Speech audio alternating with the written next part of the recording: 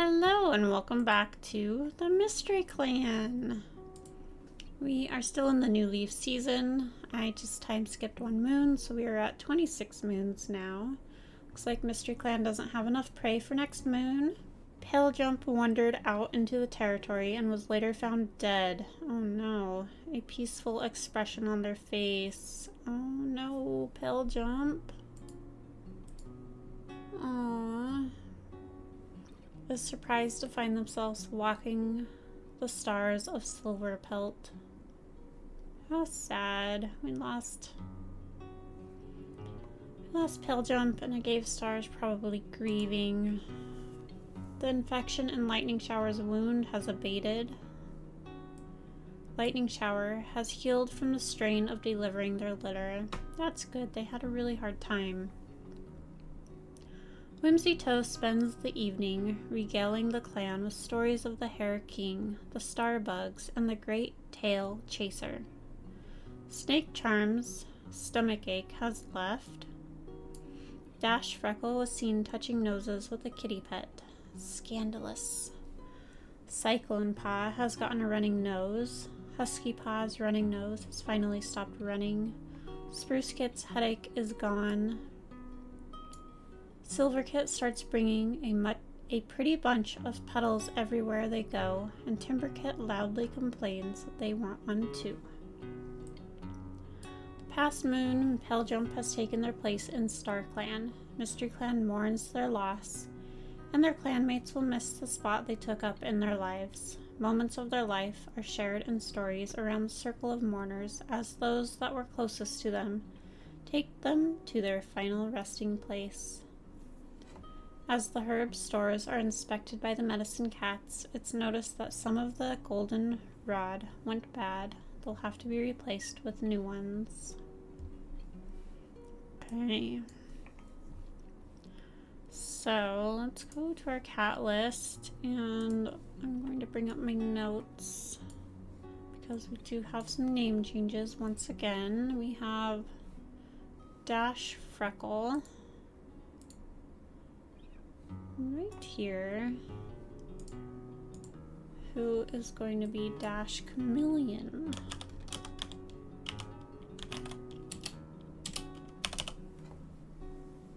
I think I spelled that right. Okay, and then we have Nucleus Nut, which is our new cat, who is going to be Tenderfoot. Foot. Okay, and then they are 39 moons, which means they would have been um, spayed already because they were formerly a kitty pet. So we need to toggle prevent kits. Okay, and her story is that she is currently looking for her mate um, we were going to do ginger snap. But I guess depending on if it's a male or female, ginger snap might not fit so well. I don't know. Um, which is around the same age. So we're looking for a cat, male or female, who is around 39 moons on our patrols. And we'll probably have Tenderfoot do like border patrols looking for them. So that's kind of Tenderfoot's little little thing they have going. Um, let's see, we have we have kittens who have aged. I was going to do this off camera, so maybe give me one minute and I'll bring you guys back. Okay, so we're back. I just had to check my spreadsheet really quick um, to see if we needed to roll for any like new apprentices to have them patrol and see if they've decided what they want to be. And it looks like um, all of them so far have chosen what they want to be, and the ones that still need to are still too young. So I think we're good there. And we're going to go ahead and move on to patrols. I believe I said that I would do solo patrols this time. So I think that's what we're going to do. We will start with Dash Chameleon, the warrior. And since we need so much prey, we're going to start with um, hunting. As Dash Chameleon tears through the forest, stretching their legs on a run, they spot movement out of the corner of their eye. Dash Chameleon skids to a halt and tries to sprint after it, but the bird they saw escapes their paws. They chatter angrily at it, and it tries to poop on them. Such is life. A very small amount of prey is brought to camp. We have Olive Talon, who is also going to go hunting. Olive Talon hears distant howling and wonders whether to investigate the noise. Right, and we are going to flip a coin to see if they go or not. Heads, they go. Tails, they decide not to. And this won't be on screen. I apologize. And they got tails, which means they do not proceed. Olive Talon decides not to investigate the source of the noise. Whatever is making it will not be friendly to them, and they are only one cat. Good deal, because I really like Olive Talon. Bluff Bat is also going to do some hunting. Your patrol catches scent of a mouse nearby. Bluff Bat locates the mouse and begins to stalk. The mouse nibbles on a seed, unaware of the hunting cat. Bluffbat waggles their haunches and leaps, pinning the mouse beneath a paw as they make the killing bite. A small amount of prey is brought to camp. Good deal. We have Meadowstorm, who is also going to go hunting. Meadowstorm wakes from a dream of rich yolk, tongue sticking out, ready to lap from the from an eggshell. However, when they poke their head out of their den to go nest raiding, there's rain pouring down outside. But they can still taste egg on their tongue. Okay. So I've had this one go two different ways. One, it goes good, and one, we had a cat die. So I'm going to flip a coin on this one to see if we proceed or not as well. And it is tails again, so they do not proceed. Nope, nope, going out in this weather is a bad idea. And we'll say that Meadowstorm remembers what happens, what happened to, who was it that died? I don't even remember now. Oh, I think it was Ivory Goose. Yeah. It was Ivory Goose who went and it did not go well for them. We have Ebony Swan, is also going to go hunting. Ebony Swan catches the scent of a fox, but is it red or gray? Tracking it, they find a stocky gray fox feeding on a deer fawn carcass. A gray fox is unlikely to have killed a fawn this size. Okay, we are going to flip a coin on this again. I'm hoping for tails, but let's see what happens. Oh, we got heads, darn it. So she's going to proceed, even though I feel like it's a terrible idea. Not all cats will make the right choices. Ebony Swan makes a stupid mistake. Too intent on winning the fight to respect their enemy's teeth, and it's tripping over their own feet that saves them. They give up and settle down to wait a safe distance away until the fox leaves of its own accord. A very small amount of prey is brought to camp. Whew! I really thought that was going really badly and she was going to die, but thankfully she made it. And we got some food. Okay, we have Tenderfoot, who is going to go on a border patrol looking for his mate, or her mate. Okay. While on patrol, Tenderfoot notices some suspicious paw prints in the mud beneath the canopy. Could it be her mate? Go ahead and proceed. Boldly, Tenderfoot follows the paw prints in the hopes that it is her mate to a trespassing rogue and confronts them. fur puffed up and scowling, they demand the rogue leaves Mystery Clan territory. Intimidated by their confidence, the rogue gives in and leaves without a fight. So, not successful in finding her mate, but was successful in scaring off a rogue out of Mystery Clan territory, so that was good. Jade Song is going to go hunting. Your patrol comes across a bird that's occupied scratching at the ground for insects. Your patrol narrowly misses the bird. A very small amount of prey is brought to camp. We have Sprout Pelt going hunting. Sprout Pelt's glad to go out on a solo hunting patrol. There's an ambush spot they've been itching to try out on their own. Sprout Pelt succeeds beyond their wildest hopes, coming home with prey so large they have to drag rather than carry it. A huge amount of prey is brought to camp. Okay, we have Ferret Valley going on a solo hunting patrol. As Ferret Valley sets off to see what they can find for the fresh kill pile, the new leaf sun feels weak but the grass is sprouting, and the trees of the forest are coated in mangy pelts of not quite unfurled leaf buds. Let's see what they can rustle up. When they round a bend in the path, Ferret Valley hears a bird call. Jerking their head up, they lose their footing and skid down a slope. More mud than grass. They're not that badly hurt, but Ferret Valley is tender enough after that fall to give up and go home. Ferret Valley got sore. Alright, we have Spicy Stone going hunting. The patrol notices a commotion and finds two squirrels chasing each other across the forest floor.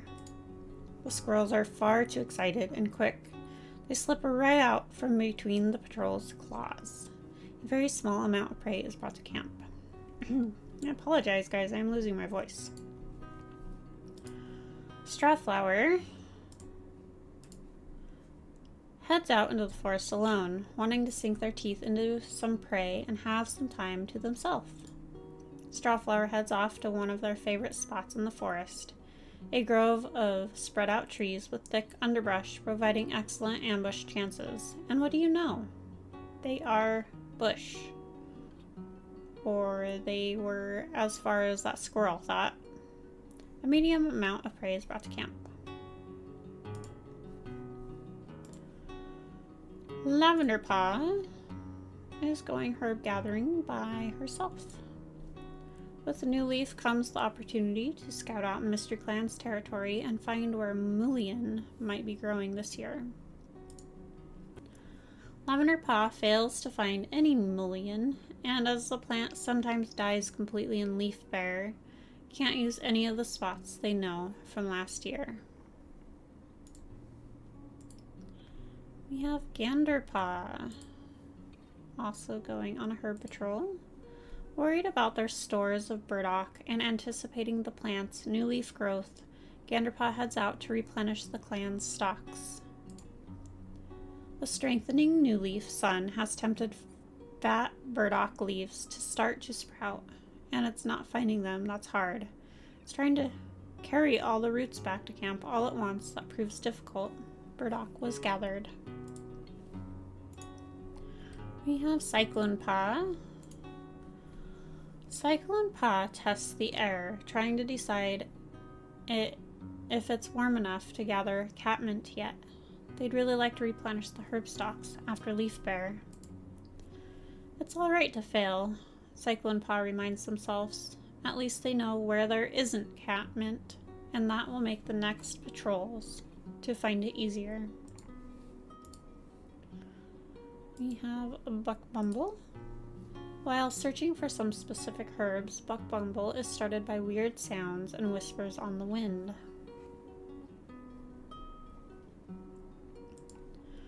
The sounds die away and then start up again in strange, unpredictable intervals. Investigating, Buck Bumble suddenly finds themselves nose to nose with a panting, bleeding queen, one desperately trying to keep their newborn litter quiet. Buck Bumble brings the queen back to camp where the clan can assist. So we have new clanmates. We have Domino, Whispering Kit, Pike Kit, and our clan's reputation towards outsiders has improved. Cool. Um, I wonder how old Domino is. Maybe, maybe that's Tenderfoot's mate. Who knows? We'll check in a minute. Peat Bog. With New Leaf comes the opportunity to scout out Mystery Clan territory and find where marigold might be growing this year. The low-growing marigold creeps across the ground, recognizable by its strange leaves that look like they're pretending to be small fern. Fronds from a distance. Marigold was gathered. Juniper Bell gets to go herb gathering. Juniper Bell heads out into the territory to stock up on cobwebs, something the clan never seems to have enough of. Overtired from caring for their patients all day and night, the only cobwebs Juniper Bell manages to collect are the ones they accidentally walked into. Snake Charm with new leaf bringing ragwort back on the medicinal menu, Snake Charm heads out to find where the silly plants have decided to sprout this year. In New Leaf, with most ragwort plants still flowerless, they're a little more bearable to harvest, the foul scent of their petals not yet muddying the air. Still need a lot of prey, so Dazzle Leaf is going to go hunting as well. Dazzleaf heads out into the forest alone, wanting to sink their teeth into some prey and have some time to themselves. Dazzleaf heads off to one of their favorite spots in the forest, a grove of spread out trees with thick underbrush providing excellent ambush chances. And what do you know? They are bush. Doesn't make sense to me. They are bush. I don't know. Or they were, as the squirrel thought. They snickered to themselves as they pad back to camp. A medium amount of prey is brought to camp. I gave Star is going to also do some hunting. Aw, their meat pilgrim is dead. so sad. They're gonna go hunting and try to help their clan out because they know that food uh, food is not good enough. I gave Star heads out into the forest alone, wanting to sink their teeth into some prey and have some time to themselves. You can't catch what isn't there, and the prey today is very not there. Darn it. Okay, we are going to...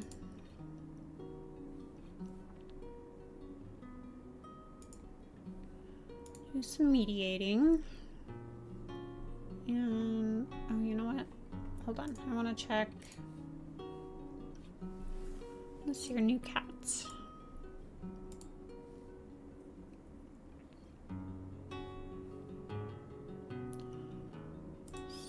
They're there. There's Domino. This is our sick queen. Okay, and she is 38 moons. So that makes sense for Tenderfoot. So I think we're going to say that they are mates. And we can change her name to Ginger Snap. Even though I like the name Domino, maybe we can give that to somebody else. Ginger. Snap. So, no wonder Tenderfoot was in, like, searching for her mate because she was very worried about her. Maybe they got into, like, a, a situation and got split up. Okay, and then we want to go to our new kits. Pretty sure it's just these guys. Um, no. There's just two. Okay. So Whispering Kit is snuggled safe in the nursery, you could tell. We are going to have Tenderfoot adopt them.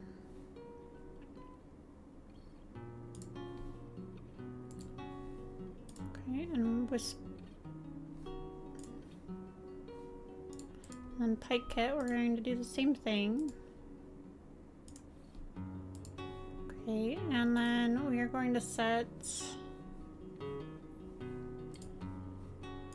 Ginger Snap up with Tenderfoot.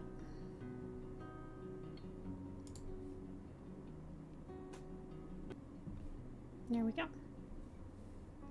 Cool. That worked out well. And we found Ginger Snap way faster than I expected to. Very cool. Now we can do our mediating. So we'll go to Whimsy Toe and we are going to do Tenderfoot and Ginger Snap. Oh look. They already have romantic like, probably because I put them as mates, but you know. Let's go ahead and mediate them. Romantic interest increased, respect increased, platonic like increased, and jealousy decreased.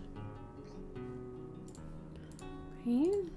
Lightning shower can do, let's do Ebony Swan and Jade Song. Respect increased, platonic like increased, comfort increased, and dislike decreased. Model strike, let's do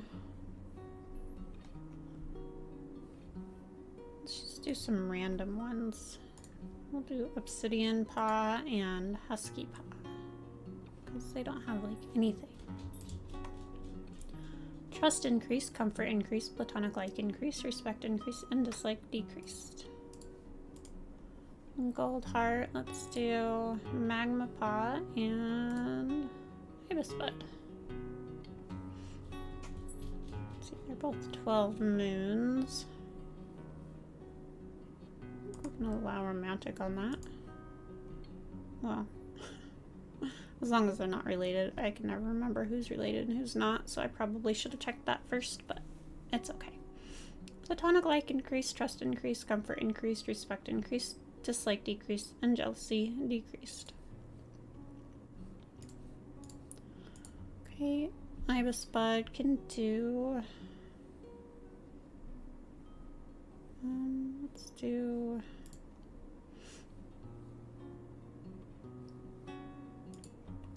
Meadowstorm and Bluffbat. We won't allow romantic on this one. Comfort increased, respect increased, platonic like increased, and trust increased. Dislike decreased. Okay, and Magma Paw can do, let's do Olive Talon and um, Cinder Dove. Trust increased, comfort increased, respect increased, jealousy decreased, and dislike decreased. Okay, and then we'll do